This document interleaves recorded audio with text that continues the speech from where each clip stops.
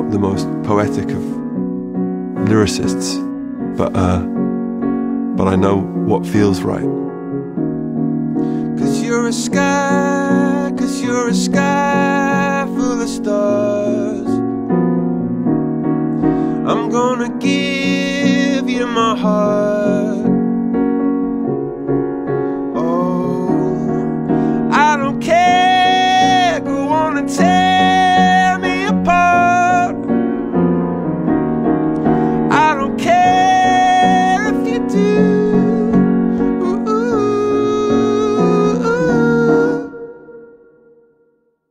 Ghost Stories is probably a, an album about heartbreak, but it's not saying that something's broken, so you should just give up.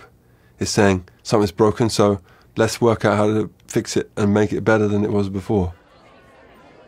I know that this song, in this point in the album, needs to be called A Sky Full of Stars because it needs to be about unconditional love. And I know that in a concert, if we're playing this whole album, there'll be a point where you're like, okay, I've got that out of my system. Now let's go dancing. I'll tell you the truth. I was listening to a lot of Katy Perry. A lot of her songs have the same chord sequence the whole time. Your body feels comfortable with them, and then the, the melody's changing on top, so there's like a, a groove you really get into, and then also you're kept interested by. So I was like, that's an amazing way of doing songs. And then I realized all these other people that have done that. Nirvana being a classic example, smells like Teen Spirit. It's the same chord sequence basically the whole time. So there's a simplicity to that that I was really. So I was like, I need to find a sequence that I just could play for ages and ages and ages. And then one just came out. I was like, that's it, that's it. A Sky Full of Stars came out about 11:30 at night, and it took it came out in about seven minutes. That song really ended up being inspired by EDM, which some people turn their nose up at. But then you go and see an EDM th- thing, and people are so together and having the best time.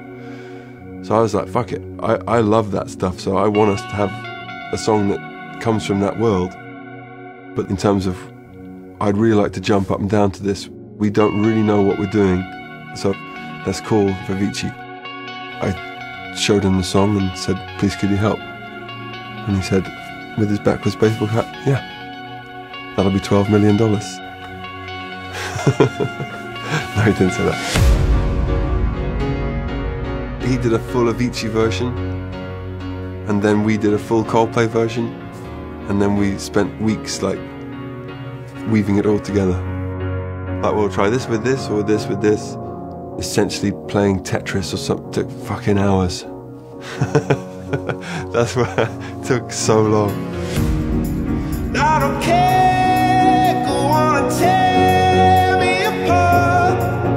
I love that song. And so far, when we've played The Sky Full of Stars in the few concerts we've done, there's just such a collective um, feeling of fuck it, let's just sing.